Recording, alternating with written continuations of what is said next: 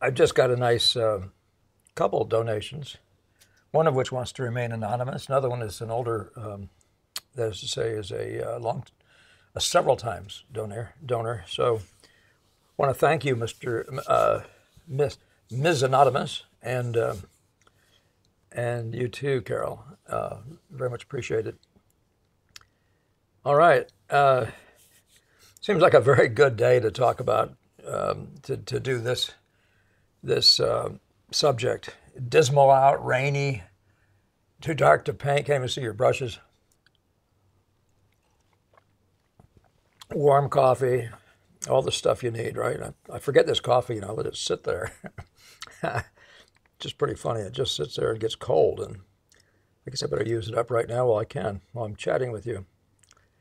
Uh, I don't. I, it feels like I've done this. It feels like I've done it three times, uh, Christian, because I've.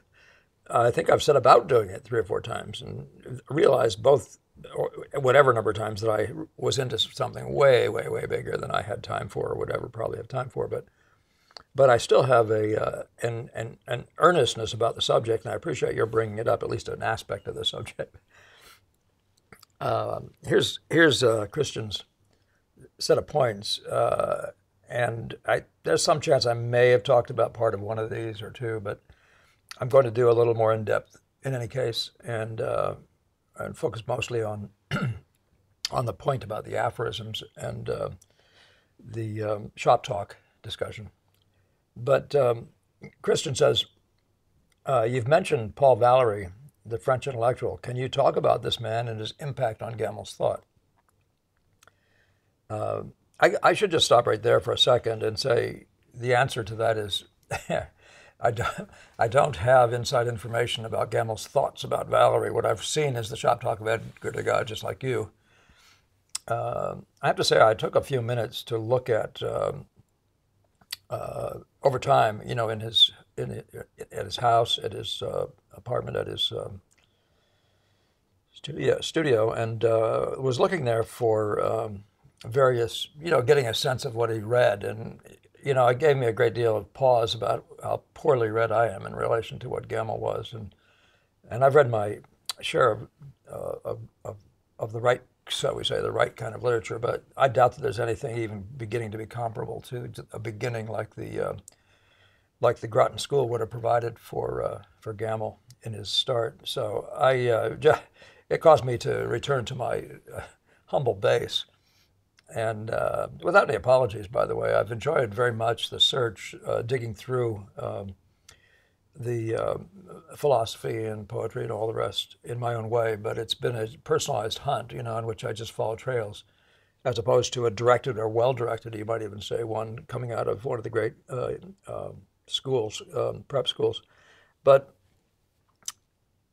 and yeah, and again, I, I, I, doubt that I'd ever apologize for that. I don't know that I wanted to be directed, although I would love to have been directed, as long as I didn't lose track of the um, of the pleasure I had in the self search, you know, in the search for my, of, my own, um, and um, you know, instead of having the right thoughts, having having awareness and always coming from you know uh, from within, I guess is the best way to say it. So, but no, I don't actually know anything about that. I know that read Carl Jung. He was a big fan of Henry James uh, and a few other novelists. He's I, I know he's read he read um, Fitzgerald and any number of people of his own time. Um, but uh, so, and I also know that he read poetry and read thoughts about poetry, read uh, which I really do enjoy myself. That uh, whole discussion uh, by poets about their work and about the about the art itself. But um, yeah, so and but but he read a, he read widely on on, on religion, on uh, you know for his pictures, I assume, and uh, and, uh, and, and, and, and psychology uh, as much as any body of stuff, you know, uh, that I saw. So, um, but the second point was, are there any intellectuals that have influenced your thinking? And uh, that's my thinking. Yeah. Well, uh, let me just show you some of the places I and the influence of your of your thinking. I mean, you're always looking for answers, right? When you first start out, and among other things, I was assuming, like many of you have, that the um, that there is something about the subject that is the all important thing. and it took me some while to disabuse myself of that idea. But um, but nevertheless, in that search, you know, here's uh, Longinus on the Sublime. These are these are Greek. Uh, you have Aristotle, the Poetics. Uh, these are re- these are things I read way back then. I read Burke um, on the Sublime and the Beautiful. I read Burke and a number of others. You know, who hasn't read you know, Goethe and um, and uh, Kant? But um, and I read fairly widely on aesthetics itself eventually. But um, the um, uh, but you then come up with another question, and I'm going to go ahead and talk about it now, and that is having to do with the influence of C.S. Lewis. As I was working along, and I realized at one point when Gammell was speaking to me that I was not uh, analyzing. Uh, he used the expressions I think I've said to you before. um, you need to think things through, or have you thought this through? If you think that through, you'll get to. And the question of thinking through was sort of a vague, what the heck is that thinking through? You sort of have an idea that it must mean thinking a thing over to you, to, you, to, to understand it in some way. But um, but it, but it also sounded like it must be in the realm of a good discipline and that sort of thing. And at that point, I read all kinds of stuff because I realized that, and I was very hot for it. I mean, at the age of 26, they say a young man's, uh, if you know, fancy turns to logic and uh, and thinking process. You actually begin to be a thinker. I've read. I don't. I'm not that scientist, so I wouldn't be able to affirm that. But but it was interesting that that's what happened to me literally like right at the age of 26. Um, but I was reading uh, because I had already read C.S. Lewis as a younger man, and I think this particular book, The Abolition of Man, uh, was extremely thought provoking. And uh, I don't mean just in a sense of of um, what the content was, but the idea of good thinking, you know, and uh, it was very evident that he was thinking through, uh, and he was trying to get these people to think clearly, you know, the people he's talking about in this in this very interesting uh, book on education. So he was one of the guys that I had in my background, as well as having read, by the way, a number of his essays. Um, so at that time, I was reading some of those essays as well, and I ran into a discussion about uh, his education, uh, if not just simply how to, something to do with how to think. And he mentioned two guys. One is um, one is Edwyn Bevan, and the other is Owen Barfield, and um, and uh, both of them were in that class. They really helped you to think through by by, by naming things, by by um, by giving clear identity to what you're talking about, to the pieces of what you're talking about, and so on. And uh, so those two books, Symbolism and Belief and Poetic Diction, I particularly like Poetic Diction, but the other one might have been uh, easier to to you know to see how a how a cold-blooded thinker works. And the reason I spend my time on this, though, is I found the need for it because we're living in a time when you, you really have to think this through for yourself. In fact, you always should have, but but because the, uh, the the body of teachers around you, apart from Gammell himself, isn't very good. I mean, there aren't guys who who uh, have this long background where they just load on the history. Much like I mentioned in Groton, you know, you have these guys who just have the background in education. That is to say, in the great books, for example, and uh, they can just sort of coach you along, coach you up. Uh, that isn't here in painting anymore. And uh, I think, really was the last bit of a person with it. Um, unless there's somebody out there, I, and there probably is, I have no idea about. One can always hope. So, uh, so the necessity to learn to think and analyze information you get uh, is really a big deal, right? So, Hey, by the way, I wanted to say something else about what I'm doing here. I'm going to be doing these aphorisms, um, talking about them. And what I want to do is hold this in abeyance. Not, I mean, I won't do the whole thing. There's so many, but I thought I would just introduce you to the idea of the uh, of the sayings.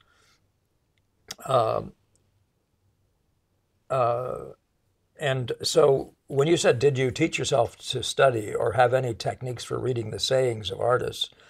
And uh, Christian then says, I ask because you've mentioned aphorisms and C.S. Lewis as someone who interested you.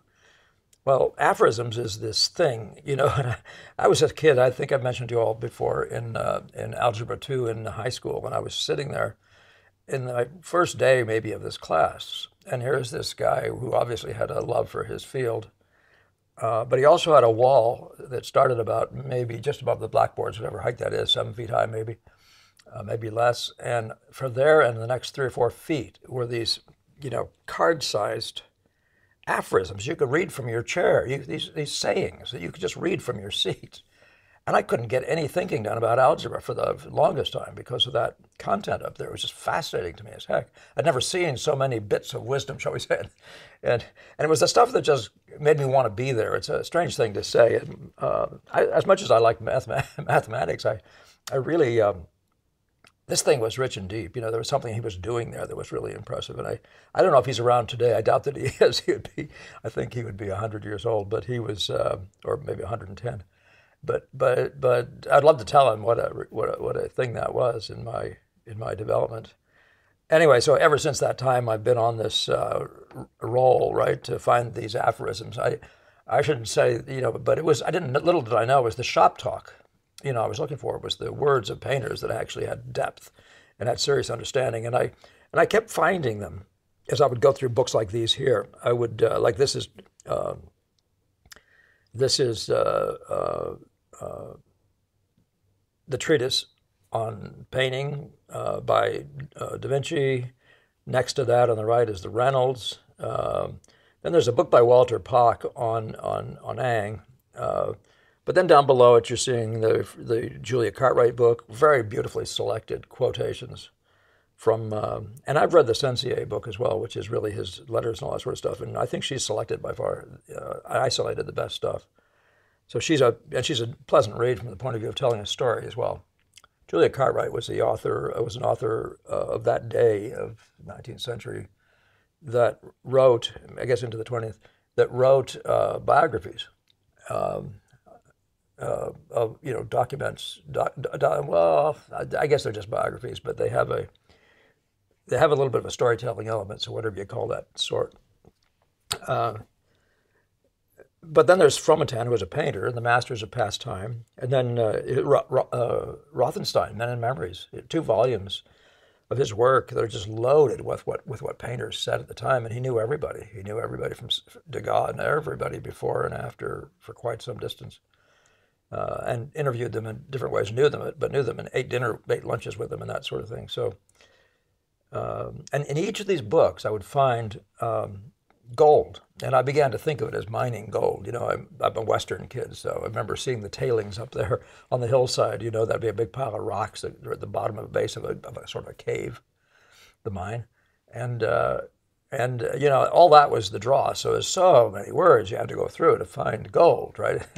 to find really useful stuff. But it was, again, it was always the shop talk. It was always practical information that related to painting.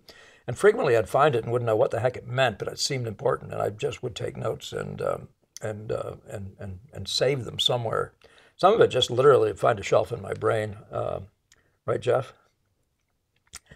And uh, but so here you're seeing Vermeer by Hale. Uh, these are the ones that are right. You know, really, these are the ones that that begin to talk about what happened in this big shift. Uh, the Velasquez book by Stevenson, they're written at a similar time. Kenyon Cox's book, you know, the classic point of view, and several others, you know, concerning painting. What's called What is Painting? uh, Old Masters and New, and two others. Um, wrote the Boston Painters. Uh, the uh, and Sargent, the, the Sargent book on chart by Charteris is actually quite a good read um, with a number of excellent uh, uh, witness eyewitness uh, descriptions of things that he did not said. So um, this just gets you started about where my mining took place. Now, some other time, I, if you like, I will talk in depth about just the books, the the books on my list or more in depth. Maybe give you a book review of a number of them. If I haven't already done that, I'll have to look.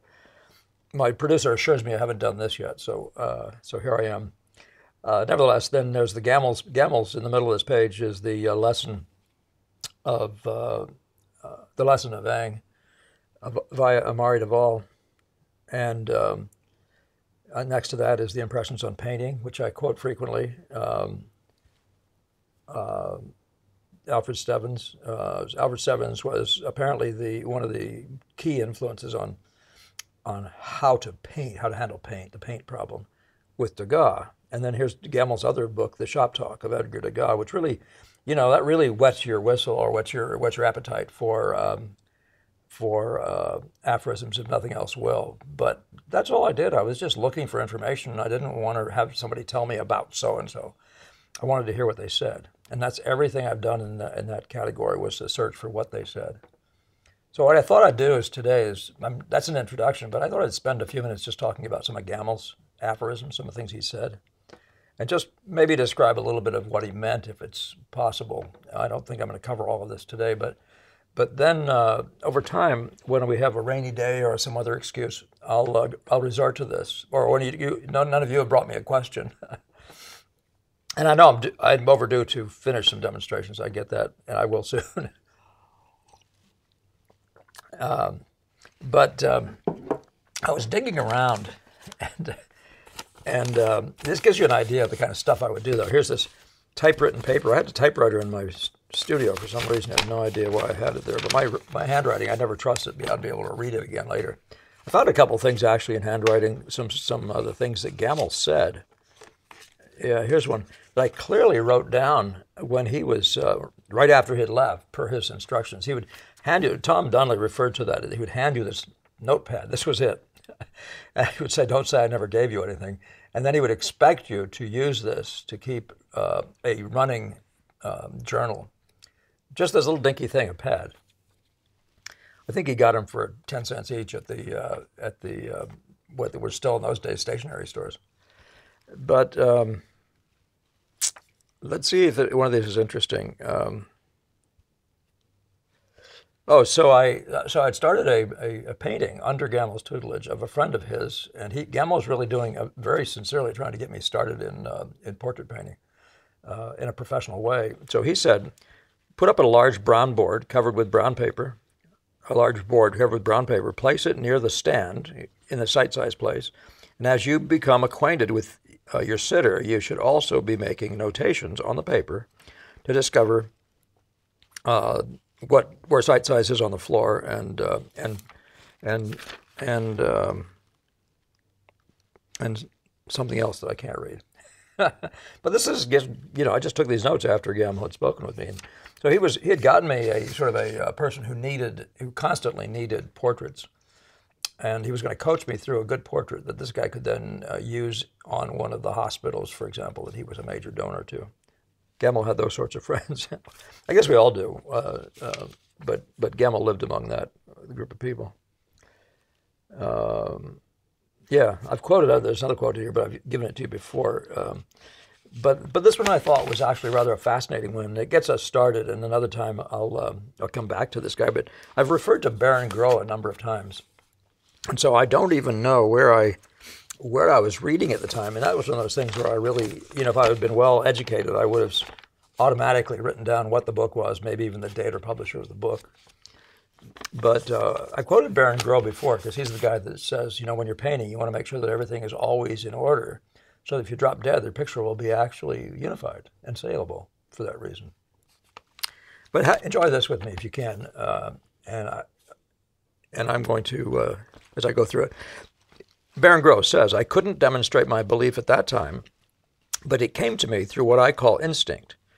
Oh, by the way, Baron Gros was a painter of, of the sort of same background as as Ingres. I want to tell you he was a student of David. That part I really uh, have forgotten. Uh, you can look it up, but he's not one of those guys you just say we worship this guy or anything like that. He's not. He's not in that class, but he's but he's a very good painter with very profound knowledge. So he said, I, I couldn't demonstrate my belief at that time, but it came to me through what I might call instinct. By the way, there right there is a really amazing concept, right? That's what we're all working with, right? And you're instinctively following what I'm saying because there's something in you that says yes about this thing, right? That's instinct, what he thinks of as instinct, for lack of a better name. But instinct is something which transcends knowledge. We undoubtedly have in our brains some finer fibers which enable us to perceive truths which we cannot attain through logical deduction and which it would be futile to attempt to achieve through any willful effort of thinking. Oh, by golly, I am really in trouble here now. I just quoted Nikola Tesla. and that's an astounding thing, actually, in itself. One of those people that I read. And uh, so I've always cross fertilized, and apologies for calling that Baron Gros. it's on this list of Baron Gros quotes. Uh, so I so I was reading Tesla at the time. Somebody said to me, "This is the coolest thing." Well, let's read this guy's crazy biography. And uh, Tesla is the, the, really the father of electricity. But isn't that fascinating? That is totally fascinating. Why well, I wrote it down, and so it's applied ever since that time. and I had a discussion with a student just this past week or so, and you see this all the time, where people want to be black and white, cut and dried, and they don't know that what they want, the training they really want, is to be an instinctive painter in other words, to see with their eyes and with their feelings, with their instincts, with their intuitions, and not with their mechanics, and not be driven and held held to task by the mechanics of realism. And it's and it and, and it gets you there. It gets you there with far more and, and a lot more potential uh, of doing something with it. So, with apologies to Tesla. All right, so let's get on. I'm checking the other two. So here's here's Baron Gros though. Here's a guy way back then, and we think of this sort of a conversation as an impressionist one, but it's not. It's it's the overall thinking. He says, proceed by the whole, by the ensemble, the ensemble of the long lines of the light and shadow, the ensemble of the overall impression. You must never occupy yourself with one part without looking at the whole. Are you doing the head? Look at the feet, and thus the rest. And then this continuing, he says, uh, conduct the whole simultaneously. Work in a way that if the work should be interrupted, there would always be a homogeneity in every part, no matter how advanced the drawing. So, do you follow how crucial that little piece of information is?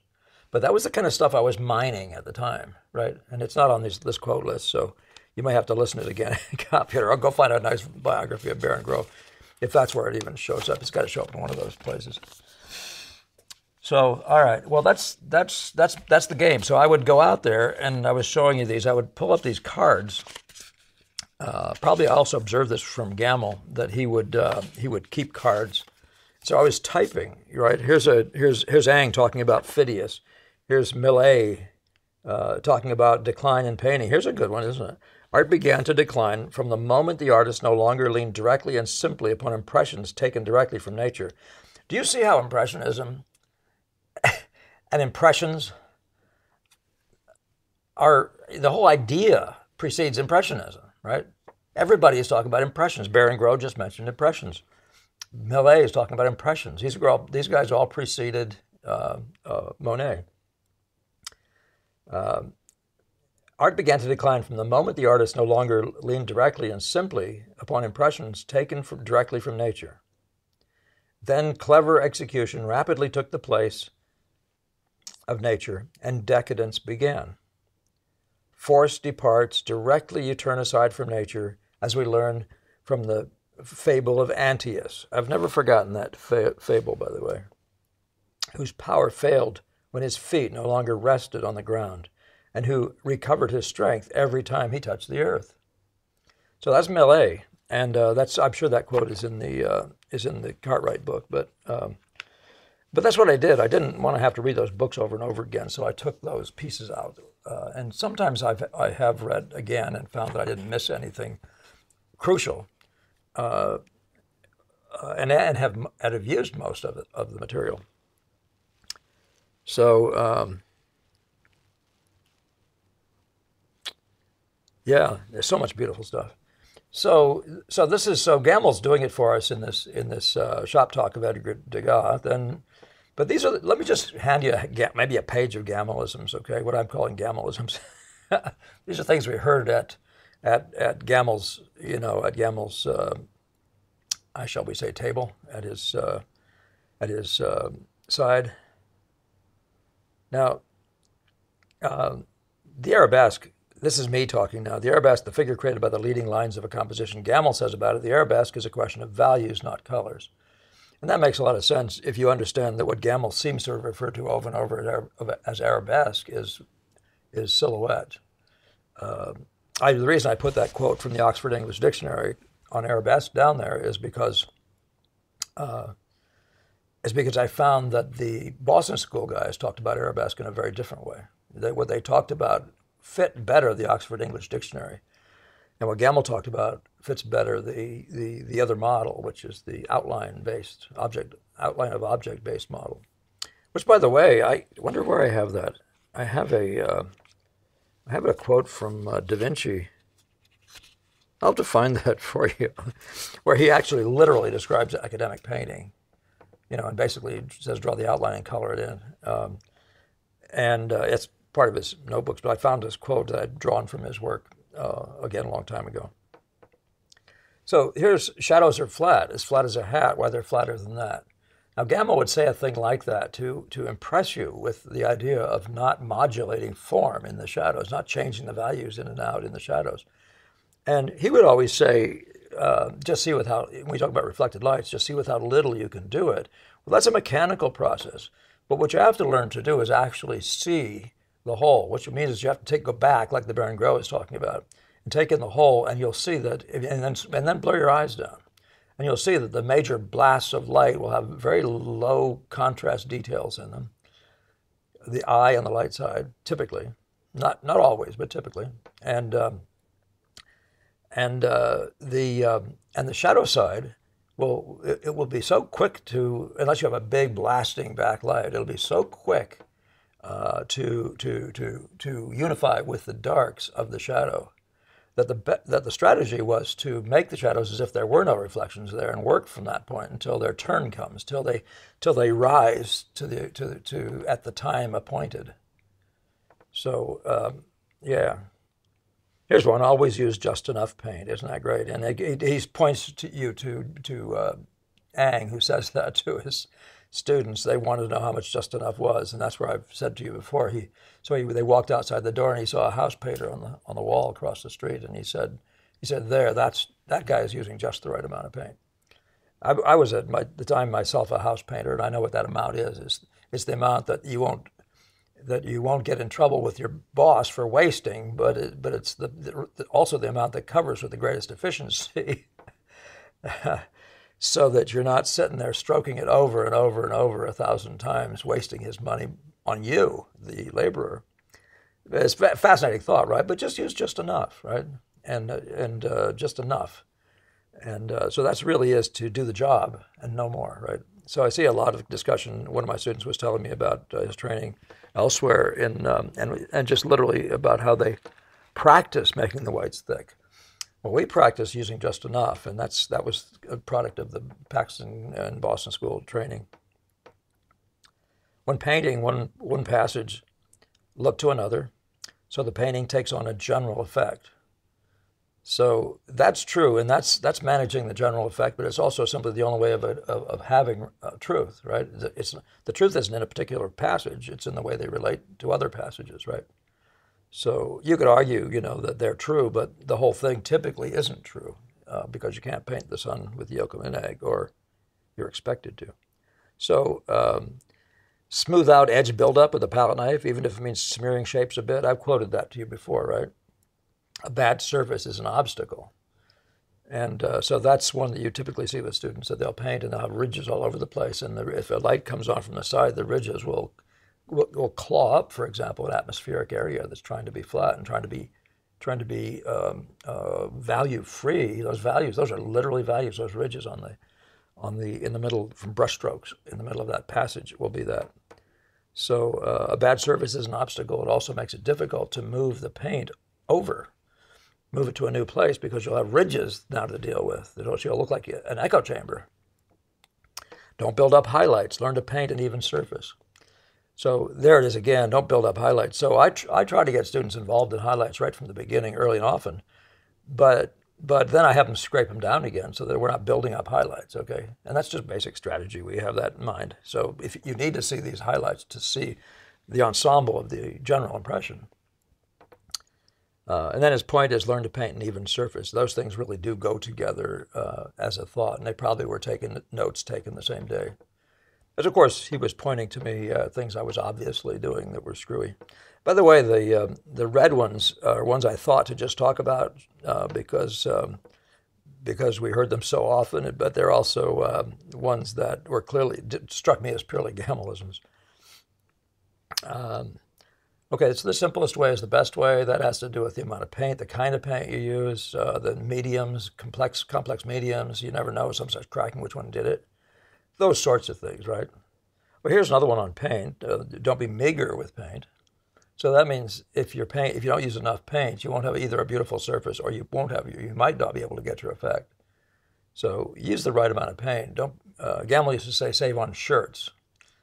To us poor kids, you know, save on shirts. Uh, so w- assuming that we would go to the store and save on and you know and, and buy the cheapest of something. Uh, so there's that. Look for the farthest back stragglers, the area least like. Make it as right as possible.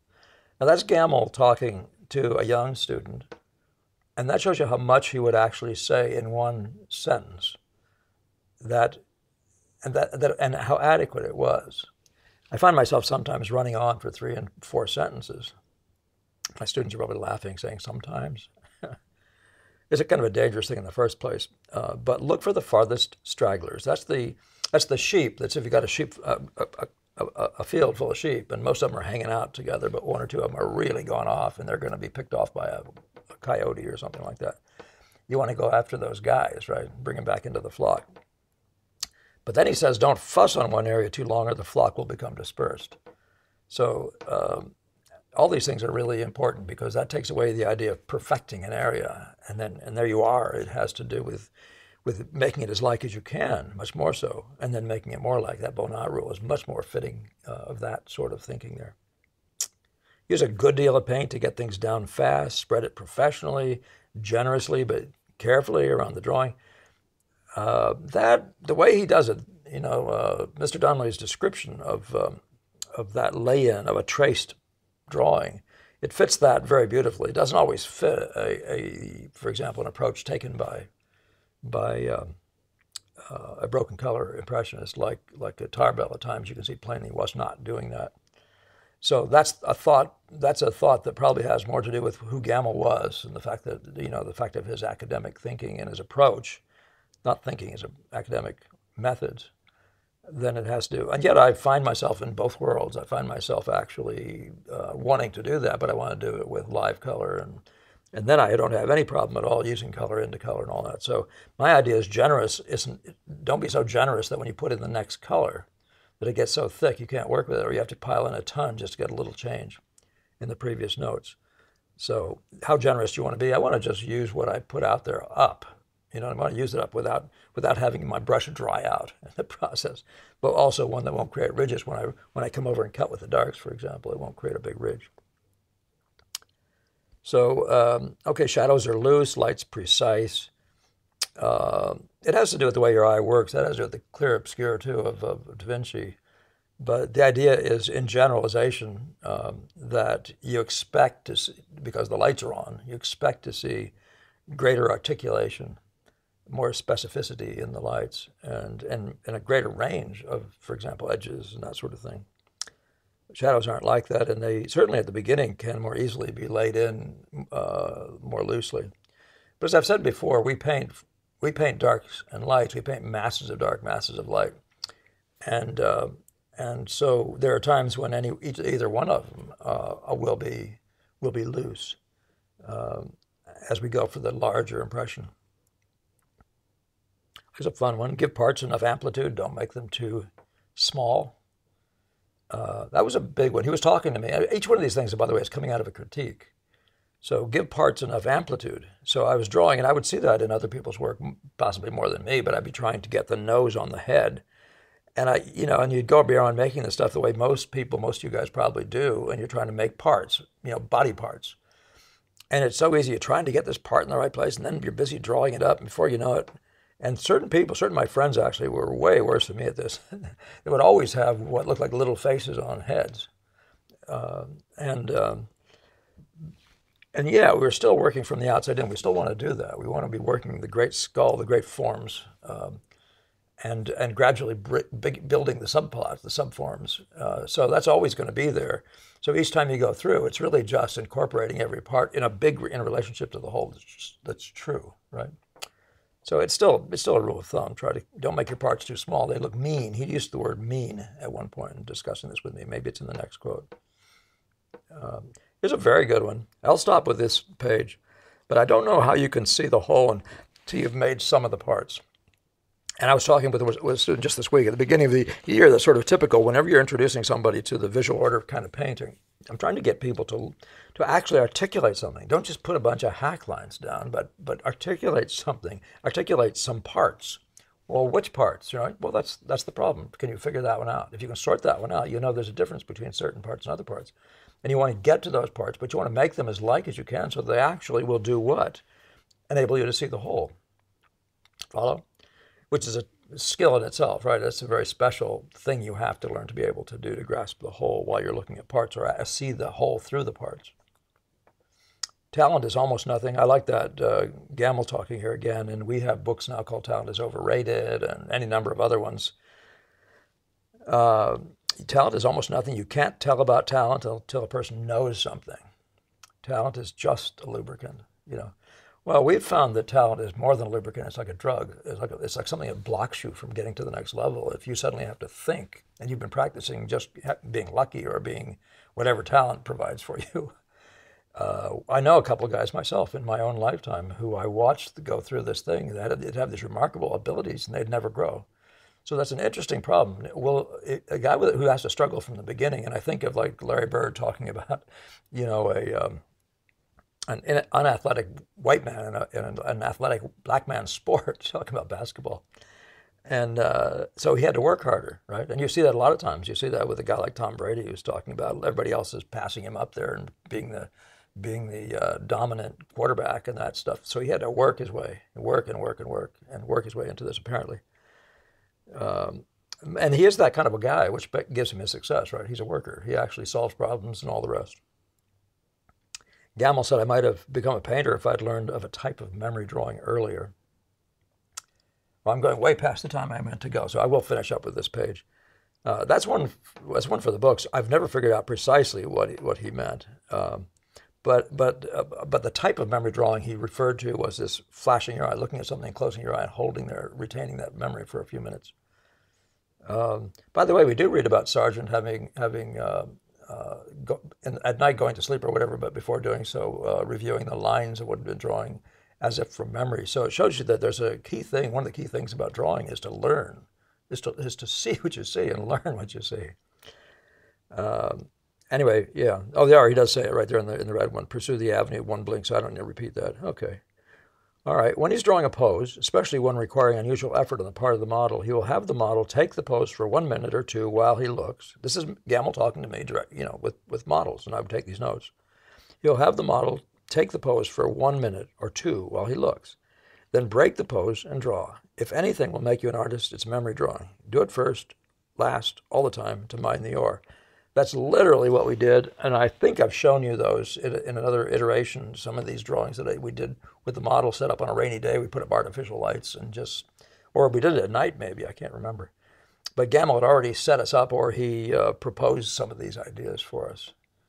So, okay, well, I'm going to stop at that. And another day we'll get back to some of these. So if you want, if you enjoy this part here, just look for, um, well, I don't even know what to tell you to look for. So once you see the title of this thing, which I don't know what it's going to be, uh, I expect I'll probably use the same code word that from that point forward.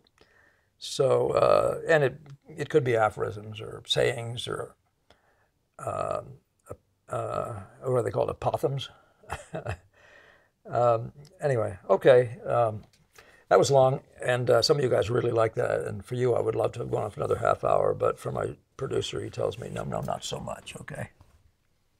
In any case, uh, uh, nice to to be back. I that's skipping that day. There are just circumstances, um, and I thank you for your patience with that. But actually, do read through that. Uh, these the um, uh, if you if, if those of you didn't see it, I think it's on the same I'll have to ask my producer actually how to get you there.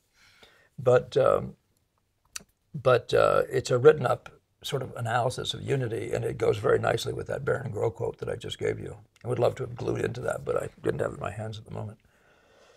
All right, all right. Next time, uh, do do, for, do remember to um, to uh, comment. Uh, questions are great. Um, I'm interested in what you're doing. I'm interested in what you're thinking, and uh, at least from my point of view, you may be interested in what I'm thinking when, I, when you when you think about the same things you're thinking about. So, please, please, and some of you guys I know are working on this way of working. So, so please do throw that at me, or anything you're even working on. You might. So, uh, so any comments of all kinds are welcome, but especially those that are pursuing a, a you know an idea related to our thinking, the Boston School way of thinking. So, and uh, and then uh, of course, uh, subscribe, get your friends to subscribe and share and share and share and share and share. All right. Again, thank you to Carol and Ms. Anonymous, and uh, really do appreciate those nice uh, donations. And we will see you in the next one.